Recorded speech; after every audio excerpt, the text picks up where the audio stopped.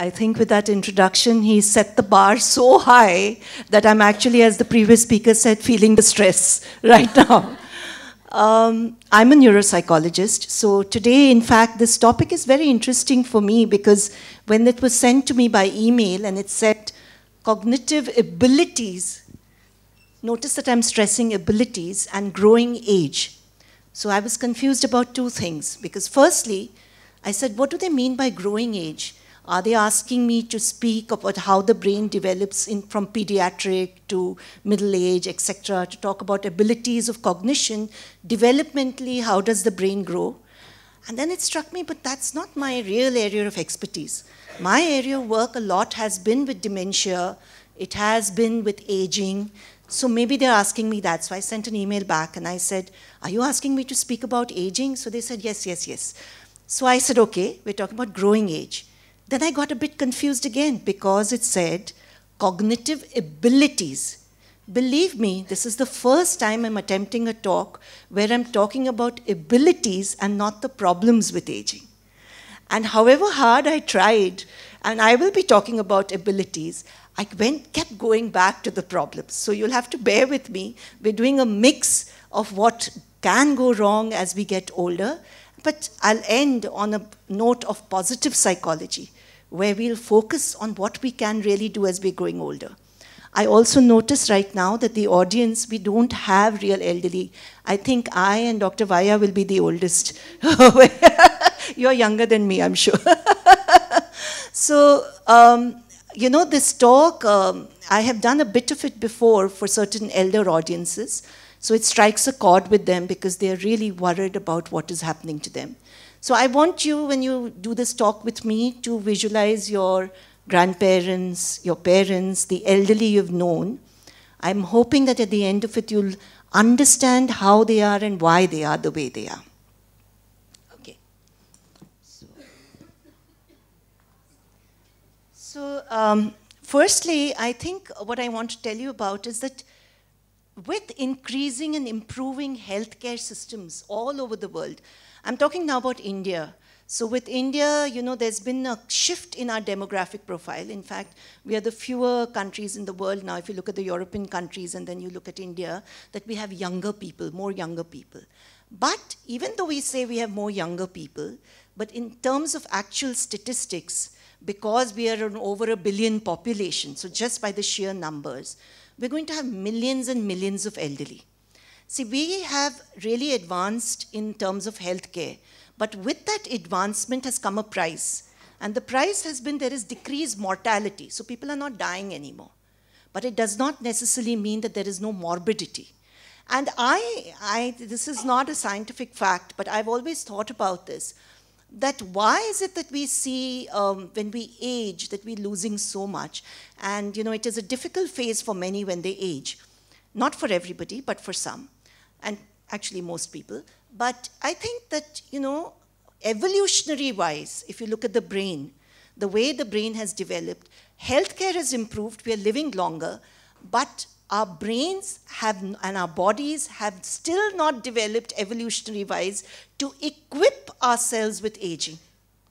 So when we talk about, say, Alzheimer's disease, we say that one of the risk factors for Alzheimer's is old age. So just merely becoming old means that the pathology coming in your brain is going to be a higher chance than anything else. So I, I do feel that as evolution, thousands of years later, maybe our systems will be well equipped to be able to live longer, but live well longer. Having said that also, I would like to say that we do see that now people are doing much more than the previous generations. So if I think of my grandparents, I think at 50 or so, if I remember my grandmother, 50 or 60, she was on the bed. She would sit down and say, now I'm done, you know, because she'd had her babies by 18, 20, everything is done, and now the daughter-in-law is there, she'll look after the house, I'm, I'm done. And typically by 65, 70, they would die. Now if you think of 60 and 70 year old, so I have a confession here to make, I'm 60 years old. So at 60, I can't think that way. I'm not able to believe that I should be now sitting on a bed and getting ready for death. So something has definitely shifted. We are using more of our brains? What is it that's happened that our brains are working in a different manner? But yes, over the years, over generations, we are remaining more and more active. And that always, you will ask me that question and I'll come to it later on. So how much activity, what activity should we really be doing to keep our brains going and remain active?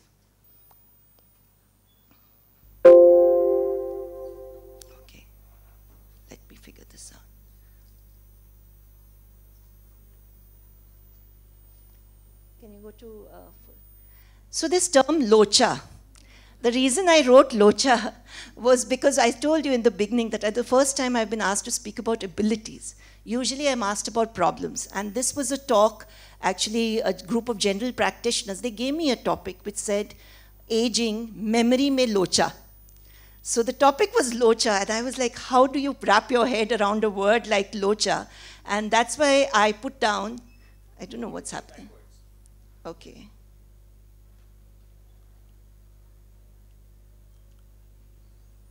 Can you help me? What's happening? Real locha. this one, up here. So uh, when I got this word locha, so I decided I'll call it loss of health in aging. And I told that audience there that I think the only time you're really in a locha situation or a memory locha situation is if you forget your wife so that's the biggest, if, if, you, if you can remember just your wife or your spouse, then that's more, then that's more than enough, but otherwise you're in a locha state. So this was just to start on a note like that. But now, uh, we say cognitive ability. So I just want to explain a little about what we mean by cognition. So cognition, as the definition will tell you, it's just the information processing ability of the brain. As neuropsychologists, when we think of cognition, we think of cognitive functions in the brain. And your cognitive functions in the brain, typically, as you know, would be attention, memory, perception, various types of perception, something we call executive functioning. Now, I just want you to understand and look at the brain with me. So you have two parts of the brain. I'm showing you only one side because I have the mic in the other hand. So you have the brain, you have two hemispheres. And in these hemispheres, the upper layer, the cortex, in the cortex, you have different areas, different lobes as we call them. So there are four main lobes we talk about. We talk about the frontal lobe, the temporal lobe, the parietal, and the occipital lobe. So some of you are familiar with these terms. Now, you have to realize that phylogenetically and ontogenetically, what do I mean by that? Phylogenesis means evolutionary wise this prefrontal area, I'll talk about, I'll be focusing a little when we talk about aging. One is about these prefrontal areas, and one is the temporal lobe areas where we have a structure called the hippocampus. I'll come back to the hippocampus a little later. And the reason I'm emphasizing this is because this, the prefrontal areas, were about the last to develop evolutionary wise. That's phylogenetically. So in the other animal species, they've not been developed so well. Ontogenetically means when you're born and then the structures are being laid down in your brain, the last to be laid down is the prefrontal area. So about 10, 11, 12 years of age is when the prefrontal areas come into being. And they govern what we call executive function. What is executive function? Very simply, it's higher order functioning, cognitive functioning, which means like goal setting, which means like sequencing, planning, organization. When you had to come here today, somewhere automatically you knew I should leave at this time, I should get up, I should get ready, I should do this. It wasn't a pausing and thinking about it. So a lot of these actions which come from the prefrontal areas, which are critical for our lives and for us to behave like humans, are here. And the reason I'm emphasizing is these are fragile because I feel they're last to develop so in the elderly, they are also among the first to start going. So this and the hippocampus, and I'll talk a little more about the hippocampus. So you bear these things in mind, and then I'll describe to you how the elderly behave, and it'll make sense to you why they are behaving the way they are behaving. So cognition I explained a little to you. We have different cognitive functions. We have to understand the brain. The brain is hugely complex. You've gone for the exhibition, you're looking at it. I mean, it just blows my mind every time to think of 100 billion neurons making 10,000, each neuron making 10,000 synaptic connections. And that's why we say that the brain is the ultimate frontier for man to solve. You know, like we say, space is the ultimate frontier. For us, the brain is the ultimate frontier. And I've always, in the previous drawing, you saw that I was showing that the eyes are looking at the brain. And that's because I think we use our own brains to try and understand the brain. So it's an inherent limitation in itself. So probably it's going to be one of the biggest challenges we have. Now, with this super brain, also you need to be familiar with some basic terminology. I think many of you will know that the basic cell we talk about is called the neuron. Then you have the axons, which carry the messages away from the neuron. You have the dendrites, which bring messages from the rest of your body to the brain. Then you have the synapse, where there is a lot of chemicals, electrical activity happening. That's the junction from where the messages go to and fro. On the surface of the brain, when you've looked at the brain outside, you'll find that the brain has grooves. So those are the sulcus, and then you have the gyri. So I'm not going into why and what that's important. We don't have the time. Gray matter contains the cell matter, and the white matter are the connections in the brain. Gray matter and white matter are important to us because as we age, the neurons start depleting. They start lessening in the brain. They start going down. Your gray matter decreases. The volumes decrease. And the white matter connectivity slows down. You many times you have people, elderly people, telling you that, uh, you know, when you ask them something, then they say, I can't get it. And after two minutes, they say, ah, this is what the answer was. Because immediately they're not able to respond to you. So, this kind of slowing of responding, slowing in understanding, is a lot of this white matter connectivity which begins to slow down.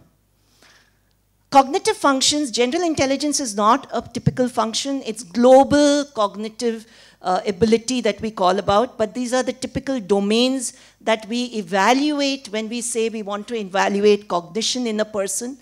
And as I told you, these were the four lobes, and what you just need to know is that each lobe has different kind of functions. So the frontal lobes, we'll talk about attention, executive functioning. In the temporal lobe, we're talking about memory, emotions.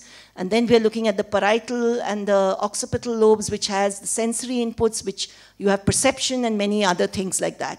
So it's not as clearly demarcated as Dr. Vahia said, it's all about networks. In the olden days, we talked about localization, that one area, one function. It's not like that at all. Now with fMRI, functional imaging, we know that basically the brain is so highly wired and so interconnected that you cannot really delineate or dis create discrete functions. But this is just for our academic understanding that broadly speaking, this is where the functions are. So what is aging and who is really old? As you can see, in the definition itself, it refers to the deleterious. That's why I was surprised when I said cognitive abilities. Typically, when we think of aging, everyone thinks of what is bad and what is wrong. And who is really old? So now these definitions of old, we say young old 65 to 74, and I know I'm approaching that age, and I have many friends who say, what old? I'm not old at all, who are 70 plus.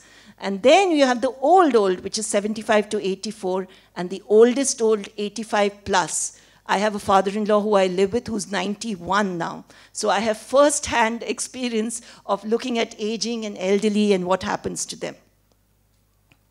What are the changes that occur in the brain with aging? So as I said earlier, you have a loss of neurons.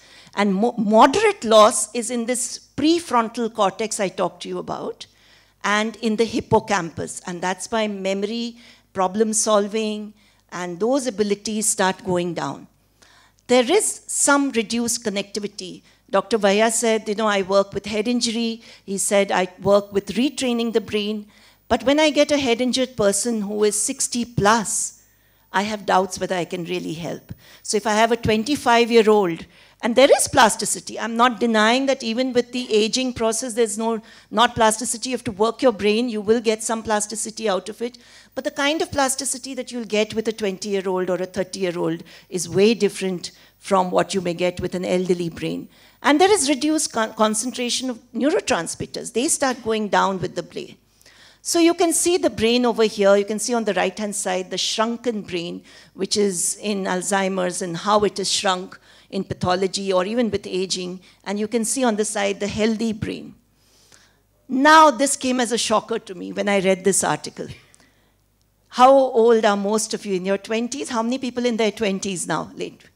So by late 20s, your neurons start dying. So it is the beginning of the end. It sounds horrible, but it's not really that bad. But uh, basically, your brain gets formulated, you know, by 12, 14, 15, the prefrontal areas are laid down. So you're in a way at your peak at around about 16 to 25. And after that, the brain starts declining. Obviously, you're not going to feel it, though I hear many youngsters say, oh my God, when I look at the young ones, they tell me, you know, they're already feeling the generation gap, that we are so different from them, and look at the way they are doing it. So, 40s is when subtle changes people start reporting. Particularly, I found that pre-menopausal, when women have hormonal changes, they will talk about some word finding difficulty, some not being as sharp as before, some dulling. By the time you're in your 50s, there is this noticeable word finding difficulty. It's very funny if you've heard some of your family members, you know, your mother or somebody saying, get me that from there. So you're saying like, get me what from where? What are you trying to say? She says, that, that, get me that. So this kind of is very common for all of us because immediately the words or the names do not come easily. So this is one of the first thing that people talk about. But believe, when I'm talking about this, this is normal aging, okay? All this is normal aging. 60s and 70s, it begins to affect everyday activities. So I can feel it now. I'm not as sharp as I used to be. I'm being very honest. So first, if I did four talks a day, I can barely do one today. So it may be, I can still do my talks, I can still do everything, but I know I cannot multitask as efficiently as before. So earlier, if I was in the kitchen, and uh, there was a phone call, I would have the phone, you know, on my neck like this, and I'd be talking, and uh, having a very complex conversation. And with my hand, I'd be cooking at the same time and shouting out instructions to my son about his uniform and his, you know, what he has to wear in between. So I was doing all that effortlessly. Now I find that if I'm cooking in the morning in the, in the, in the kitchen and somebody walks in and engages me with the conversation, I do some locha. So something, the salt goes somewhere else or the sugar goes somewhere else. And I say, hang on, let me just finish this, then I'll have a conversation with you. So these are very subtle things. And the reason I'm sharing even about myself, it's important for the elderly as we get older to accept and be okay about it. So I say, it's okay. I can't talk to you right now. Let me finish this. Then we'll have a great conversation. But these are the subtle changes that start happening. And in the 80s, for a small population of people who really feel the difference and who are not accepting their aging, this is the key word, not accepting, there is actual distress. And then they become irritable, they become moody, particularly in forgetfulness. You'll tell them, Are, Nani or Dadi, I just told you this, you just asked me this, I'm telling you again. I never asked you, why are you so rude to me? Oversensitivity, they're not able to remember that they have told you again, they don't accept. I have an amazing father-in-law who says, I forget everything. Please tell me a dozen times. So he's quite happy and accepting that I'm not going to remember, you have to remind me. Uh, this is a busy slide and this is a tough slide, but I want you to focus and it's a, it's a technical slide, but basically on what is stable or increasing. So when we talk about aging and we're looking at the different cognitive domains, in general intelligence, when we assess, when you think of vocabulary, when you think of your fund of knowledge, your general knowledge, what you've acquired over the years, please think of this, what you have over the years acquired, which is overlearned, over-practiced, and is with you, because I'll come to long-term storage and memory later on. So what is with you will be there with you. Now, any of these things I say stable or increasing, obviously once you cross 94, 95, there will be lapses. We're talking about really the old, old. But in general, as we are aging, this remains. And in, in IQ testing, we have this concept of fluid intelligence. I'll show you in the next slide. And crystallized intelligence. So this crystallized intelligence is what is more or less permanent with you, which is your vocabulary, your grammar, the way you speak, those things are there. And increasing, we say, because if your knowledge increases about things, wisdom increases, You as an older person, today I speak to you as an expert because I have that fund of knowledge gathered over the years. So this increases. But if you look at attention, it really goes down. So we also have a term is uh, age-related attention deficit disorder.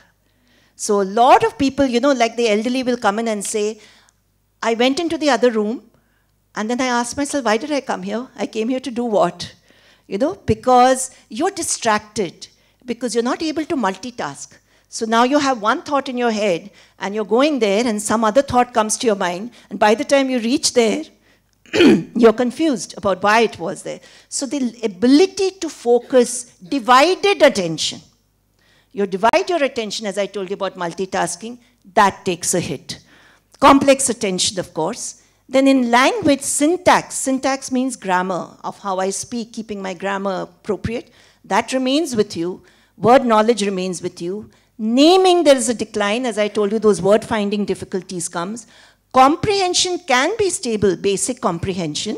So you may find a good 80, 85 year old, you can have a conversation one on one with him and he will understand everything. But complex comprehension. So if you're sitting in a group, a large group, and you have an elderly person, you will notice that they become very quiet. They do not participate in the flow of conversation. They're just sitting because they, they get lost because the words are flowing so fast, people are communicating so quickly so I'm sensitizing you that if you have an elderly and you're sitting as a whole family, make sure that you pause, address the person, and then say the thing again to him and ask him to say, give his opinion. But if it's a free-flowing conversation, they are not able to participate. And discourse means the narrative. So if you tell them, now tell me, I've written variable because if you tell them to talk about their early days, they will talk brilliantly. You ask any of your elderly, to say, tell us about your school days or what you did and how you started your life, and they'll give you a wonderful narrative. But if it is about something new, then there are, it's difficult for them to do. So memory is most, I'll spend a little more time with memory. So working memory is a concept we have. It's like an immediate memory. It's the ability to hold one piece of information in your brain while you do another action with your brain. So for example, a test for that is digit span backwards. So in that test, you know, I'll call out a number of digits and I'll tell you repeat it backwards. So if I say 5793, okay, so then you have to say that 3975. And it gets longer and longer and longer. So the, when we're testing it, what you realize what you're doing is you have to hold the number in the forward direction in your brain and then reverse it and give me the answer. So this ability to hold information, that is the core for multitasking. What I explained to you that in the kitchen when I have to do three things, I have to hold on to one thing, do two other things. This takes a major hit. Recent memory also, there is a moderate, moderate to severe decline what you had, the, you know, the early morning, yesterday what did you have, who came, who went. As they get older, they forget. Remote memory is stable. Remote is what we said, tell us about your childhood, personal, autobiographical. And we'll talk about memory, you'll realize why that happens. Procedural memory is like driving a car or learning a skill that they had. That also can remain relatively stable. Again, it is overlearned information. Executive function, all of it, I'm not going into the details. Visuospatial, speed of processing, how fast you can do things, all gone as we get older. They all kind of disappear. So what do we need to learn? That our elders will give you wonderful advice, will give you wonderful information. You have to give them time. You cannot rush them. So if you want them to go out with you, you have to give them an extra half an hour, one hour. You can't say, now we're leaving in 15 minutes, get ready quickly and come. You'll find that they become cranky and irritable and they really lose it. So if you give them enough time, you ask them, you talk to them, in every way give them time, they are going to be very different and far more participative in what they do. So this is just a graph to show you what goes up and what goes down, which I just explained to you. And this is about general intelligence. We talk about fluid and crystallized uh, intelligence. The fluid is more about thinking quickly, abstract reasoning, which is there when you're younger, but as you get older, it just all goes. So a little bit about memory changing and how we forget. I typically will get a lot of people in the clinic now. There's a great awareness. So people come in and say, you know, I'm forgetting a lot these days, typically after 50.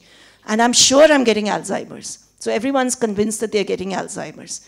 And uh, we call them the worried well because typically we have found that people who actually have a dementia come in saying, There's nothing wrong with me, my family thinks there's something wrong with me. They have no insight. But the other ones come in and they're worried well, and then we do evaluations. So, what are the changes we've said? Before I go on to that, a very simple model of memory is about acquisition, getting the information in, encoding. Encoding requires attention. So if right now you are busy thinking of a hundred other things and saying she's really boring me and you're not paying attention, none of the stuff that I'm talking about, you'll go out and say, I have no idea what she talked about. But if you are really focused and listening to every word that I'm saying and hanging on to it, you are beginning the process of putting that information in your brain and encoding. For encoding, you need the frontal lobes, the prefrontal areas, you need attention coming from there. Then this information goes into storage. It needs to be consolidated to leave a trace in your brain. So that's when it goes into this region called the hippocampus for consolidation in the temporal lobe. Now, this is a fragile area. So sometimes, even if an elderly person is paying attention, attention is fragile, but even if he's trying to pay attention, when it goes into the hippocampus, it doesn't get consolidated so well. So obviously, if the memory trace is not formed, it's not there when you ask him for the information. It never got coded. And that tells you why there's a discrepancy that you know, people say to me, you know, it's so strange. He knows everything about his old young, young days. You ask him anything, he knows. And if I ask him, what did you have for breakfast? He says, I don't know. So मुझे तो लगता है ये ढोंग है. You know, he's pretending. It's selective memory. But this is the rationale for it. Old information, when it was coded in your younger days, the hippocampus was fine. It got coded very well, it got consolidated, and when it was repeated or it had high emotional content, it got consolidated as a very important memory trace, which went into what we call long term storage, which is in another area of the brain. It's in different areas of the brain. And that doesn't get damaged so easily.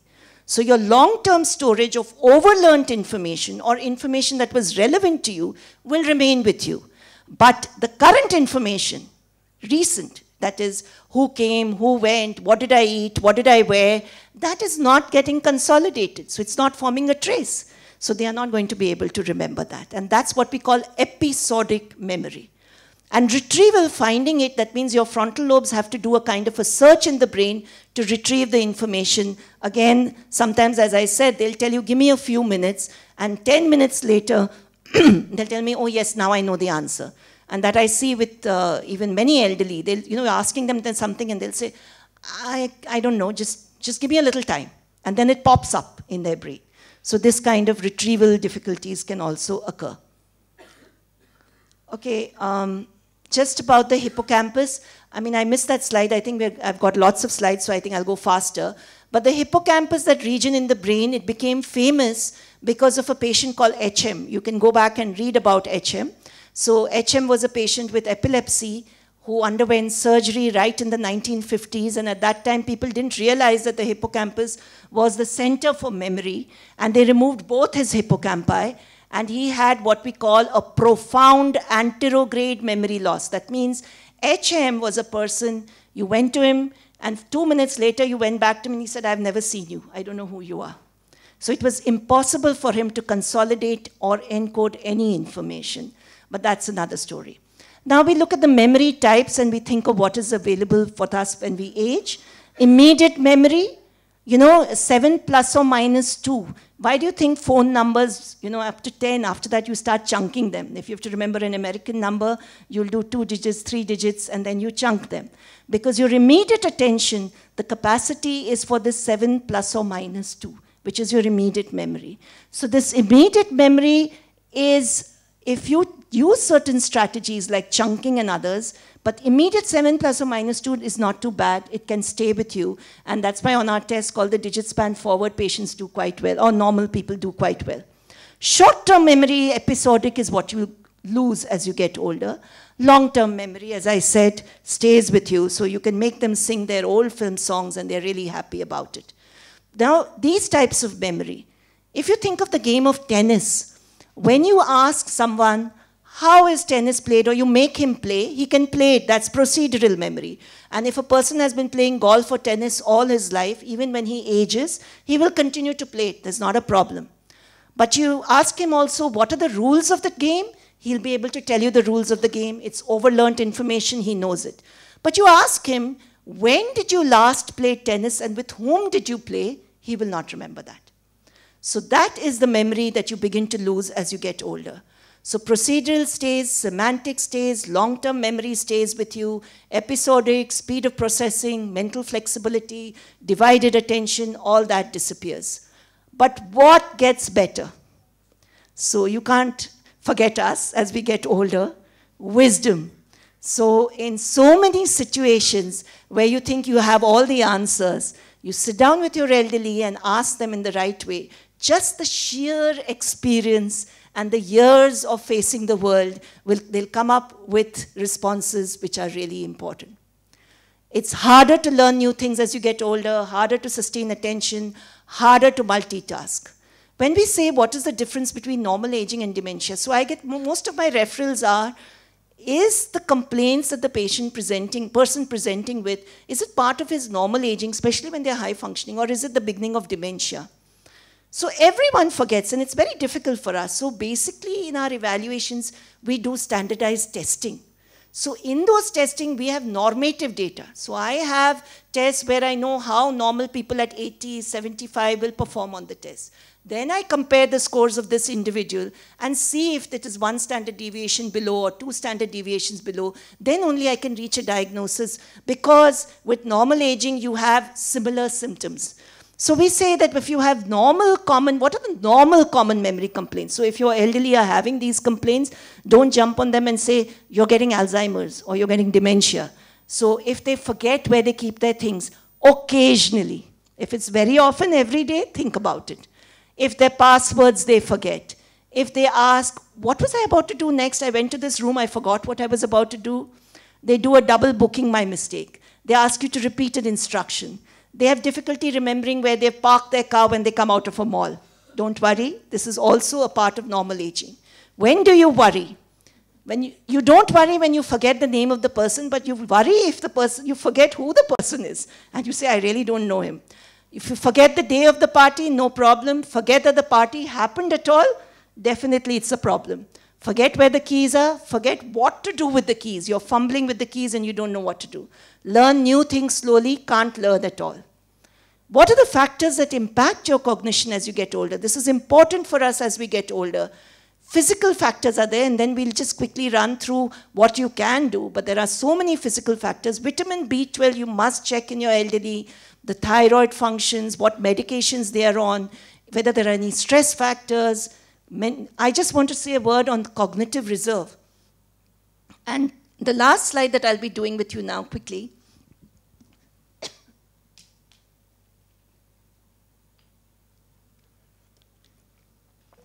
is this whole concept of cognitive reserve in a study called the Nun study, which I'll be describing to you. So when we talk about growing old in our younger days, we need to invest in what I call the brain bank. So if I've had a good education, if I have stimulated my brain well, I'm telling you because you're young, you can do it. If you've exercised well, you've eaten well, you've done the right things, your brain bank, for example, can have a deposit of, say, 100. You get all the tick marks, you've done it. Now, if I look at a laborer or somebody else, you know, who's really low in these kind of, you know, opportunities in their life, maybe their brain bank contains 40 because of the lack of opportunities and not building it up. Now, when you get older, if pathology begins in your brain, you start developing Alzheimer's pathology. Initially, the symptoms are not out there, but the pathology has begin, begun in your brain. And it's eating away the neurons. Your bank balance is going down. Your brain bank balance goes down by 40. You still have 60 because you have this cognitive reserve. And because you have that 60, your symptoms don't come out so easily. So we get a lot of high functioning individuals who come who, when we test them, we find that they're way beyond, but they appear to be functioning all right because of this great cognitive reserve that they have developed over the ages. Whereas the 40 going in that laborer, he sinks down to that zero very, very quickly. So developing the cognitive reserve is very important. Then, of course, the psychosocial aspects. So what can we do? We need to exercise our brains. You know, the young generation, all of you, it's a great concern with this over dependency on gadgets. Now we don't remember telephone numbers. My generation, when we grew up, we had to remember all the numbers by heart. So that was an automatic memory exercises. And now we are not doing it. You go to the vegetable vendor and he uses a calculator. And so I have a little competition with my vegetable vendor. I say, you do on the calculator, I'm doing it mentally. Let's see who arrives at the solution faster. And then I encourage them not to use it. So this over dependency on gadgets, paying attention, I tell the elderly, this is for the elderly, that you must learn to focus. Again, we have youngsters now, this is an ADD generation. I don't know how you're sustaining me for so long, because I'm sure your attention is skipping over here. Giving meaning to whatever you're learning is very important. Getting organized. This is all for the elderly, not for y'all, but it works for y'all too. It works for anyone. You're losing more of your frontal function, executive, better planning, organization, master plans, environmental aids, we tell them, put places, mark with stickers so that you can remember things. And you do simple memory exercises, like try to remember, decide that in this month I'm going to learn two phone numbers by heart. And I'll start with the first three digits, then add on and add on till I know them by heart. So do simple things like this Cut down distractions. As I said, you can't multitask. You know, I'm cooking, and if someone is having an animated conversation with me, I'm going to put something wrong while I'm cooking. So if I'm driving, I'm doing other things, cut down the distractions and focus on one thing. What we tell the elderly is it's not that you can't do new learning, you can do new learning, but it will take you longer. So if you have to learn the computer, you know, and if you have a 30, 20 year old learning a computer, he will start and in two days he'll know it. You may take six months, but that's okay. You will learn it in six months. So you must continue with new learning to uh, challenge the brain. And this whole concept of use it or lose it. If you're not using your brain, if you're not doing the things, then this persistent, effortful mental activity, I just want to say a word with it. People tell me, we do crosswords every day, so that's good. We are exercising our brain. And I tell them that if all your life you've done crosswords, it's doing nothing to your brain. It's gone into automatic mode. So you're just doing it mechanically. You have to find new, novel activities where you'll really have to think and challenge your brain to be able to develop your brain function. So the last bit, five pillars of brain health, physical fitness, aerobic exercises, we talk about uh, cardio, Gardening has been found. This is all based on evidences and studies coming out. Dancing is supposed to be amazing. I think more and more we have to catch hold of our elderly and we all have to start dancing. And that does great things for our brain. You have intellectually engaging activities, but remember, once you get very good at it, drop it and take another one. Learn a new language, learn a musical instrument, play bridge, play board games. All these kind of things helps. Nutrition, of course, is important. And now, you know, everybody's talking about haldi and India having less dementia because we eat haldi. So there are lots of studies going on. We don't have 100% evidence. There is some evidence to suggest that it is uh, neuroprotective. Alcohol, everybody asks me, can I drink my glass of wine? There are studies going on about that. And it has been suggested that red wine is have some benefit, may have. And should we be buying this? I really don't know. We don't have the evidence. Brahmi and Ayurveda, all that is there. We don't have the evidence, so I cannot promote it or dispromote it, but we're not very sure it really works. Stress, very important. I tell all the people who come to me, the youngsters, and I say, if it is unnecessary, do not tell your elders about things that will stress them. If they don't know, they don't know. Don't go and sit with them and say, you know, so and so who lived over there when we were young, he died. And when you talk about him dying to an elder who are already in that frame that now it's time for us to go, don't have those inane conversations. Reduce stress for them. Now, these last two studies, this was a study, Harvard study on adult development, where 724 male teen, this is an amazing study. I don't think a study like this can ever happen again. So this was in 1938 that they took 724 male teenagers from Harvard University as well as from the underprivileged part of Boston. So two groups, highly privileged and underprivileged. And they are tracking them till date. So for all these years, from the time they were teenagers and now they are in their 90s, they have been tracked to see how they grew old and what happened to them.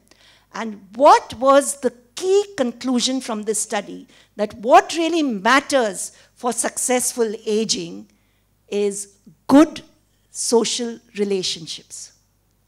Most important, loneliness factor with old people when they live by themselves. We are really blessed in our country where our elderly live with us. But it has been clearly found that when they have good social relationships and uh, close, it also good doesn't mean that you put people together who hate each other.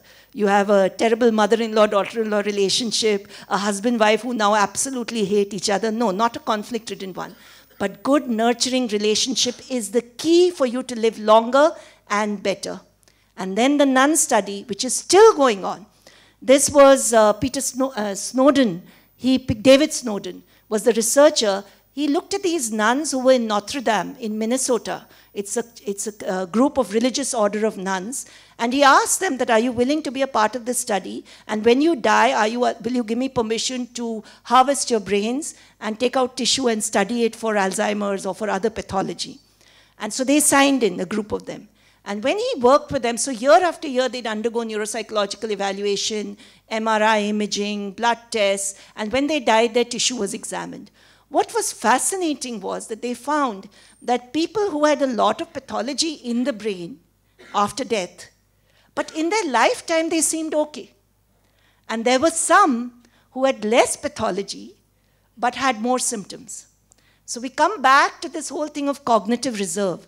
You can have pathology in your brain, it can be there, but when you're living, you will still not be diagnosed with Alzheimer's or a problem because of what factors? What are the factors that you have that despite having pathology in your brain, you are okay in a lifetime? And these were the factors they found. That these were all teachers, most of them. You know, in the convent, you have the nuns as teachers. So, linguistic ability, language skills, and being teachers was protective. Ordinary food, so we talk about food, food, and the crazy diets, but simple well cooked, very simple, nutritious. We go back to our old days and eat our simple food. Preventing strokes and depression is also very important. But in their case, what happened was they had attitude, faith, and community. They lived together, they prayed together, they exercised together, they had cognitive stimulation together, Please go and look at this study. There are some delightful videos about these nuns at 94 cycling away or moving or singing or dancing. So all this they felt is what brought about. And this book, which was written, Aging with Grace, a prescription for hope, shows that old age doesn't have to be an inevitable slide into illness and disability. Rather, it can be a time of promise and productivity, intellectual and spiritual vigor, a time of true grace. So we talk now about positive psychology, my last slide. It's the new buzzword, as you've heard, positive psychology, and I think that's why the organizers said cognitive abilities and not disability, because we need to focus on what is good, what we do have, accept it, work with it, and truly celebrate our growing old. Thank you very much for your attention.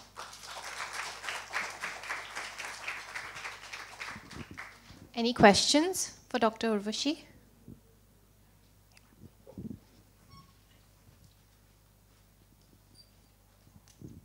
Thank you, ma'am. It was a wonderful lecture. As Dr. Vahia rightly said, you are amazing, amazing orator. Uh, we have been working as cognitive therapists and we deal uh, more with dementia patients. And uh, we, we spoke about the cognitive reserve thing. Uh, uh, what we have seen when most of our patients, they belong to the elite class where they have worked hard uh, in their lives and they have been the CEOs and the chartered accountants. And still, uh, you know, when they grow old, they have something like dementia and it's a total uh, shift of, you know, when particularly their families, they feel that they have been overachievers and now see what has happened to them. So, is there any connection between you know how you have lived your life, uh, how much you have achieved, and dementia, or is it just a coincidence that they have had?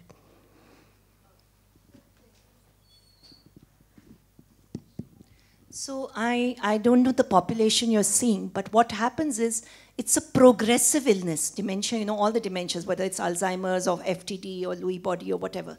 Because it's progressive, many times, maybe the patients you're seeing are already in the advanced stage.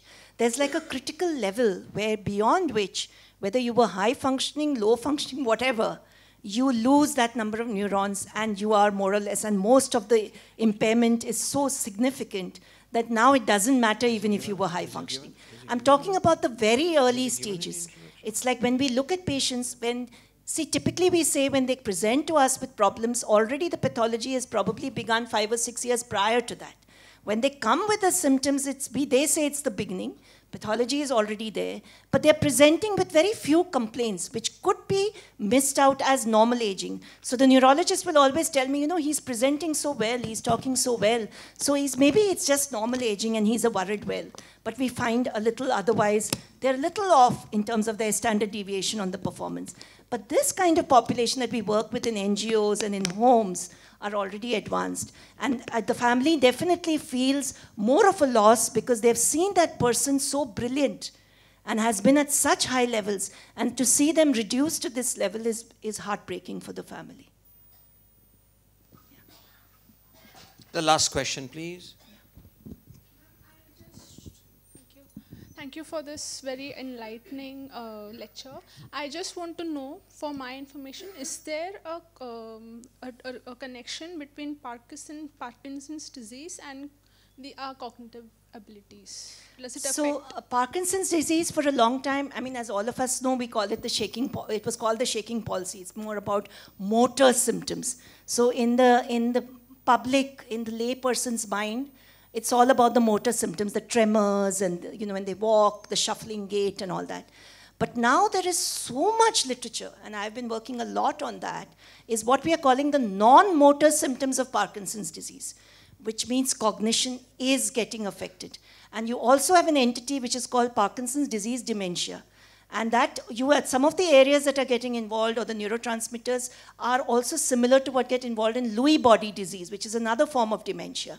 So now there's a lot of overlap, and we're beginning to understand that it's not just a motor disease, but definitely cognition is getting involved. Thank you, Dr. Urvashi. I'm going to request Dr. Vahia to present you with a small memento.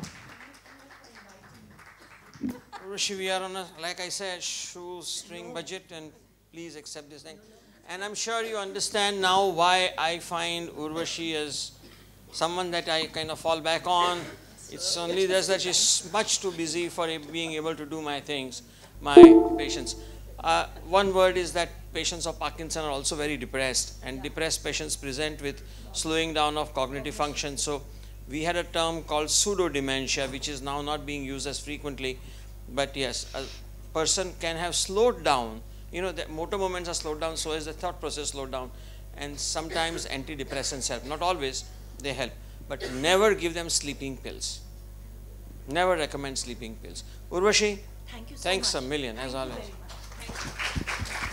Thank you, Urvashi. As we come to the last lecture of the day, uh, Aarti told me to introduce Malay Dave.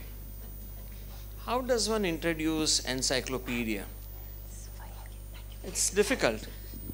There are no words that would describe an encyclopedia. But Dr. Malay is the encyclopedia of knowledge, not just mental health, but also of culture and music. Uh, he's much younger than me. I've seen Dr. Malay uh, being Malay Dave, and I'm rather proud to say that when I'm in doubt, I fall back on him for my knowledge of neurology or understanding of the functioning of the brain.